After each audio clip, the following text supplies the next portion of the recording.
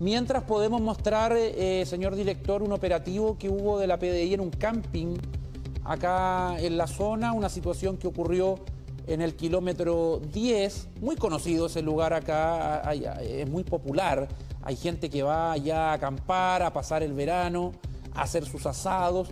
Evidentemente que lo que estamos viendo no se puede hacer en pandemia, claro, no pueden haber aglomeraciones y está prohibido ir a acampar eh, con la familia a, las comunas que están en cuarentena total.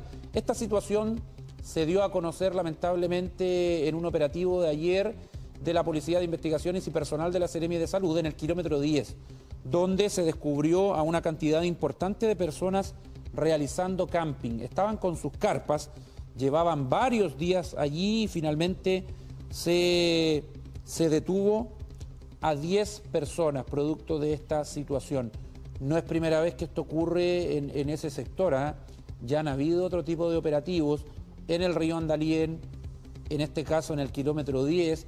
Recordemos que en, en, el río Andalien también en las orillas se realizó una carrera eh, a la chilena el fin de semana. Eh, todas actividades que no se pueden realizar en, el, momento que estamos viviendo, en esta pandemia, en esta cuarentena total. Por lo tanto, son hechos completamente irresponsables por parte de las personas que van allá.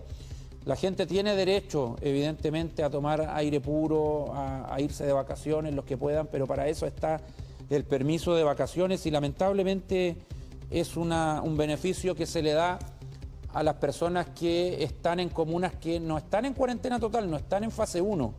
Y Concepción, porque esto fue en el kilómetro 10, Concepción, esto es eh, eh, cuarentena, es cuarentena total, fase 1, comuna de Concepción. Por lo tanto, ese tipo de reuniones, de campamentos no se pueden realizar.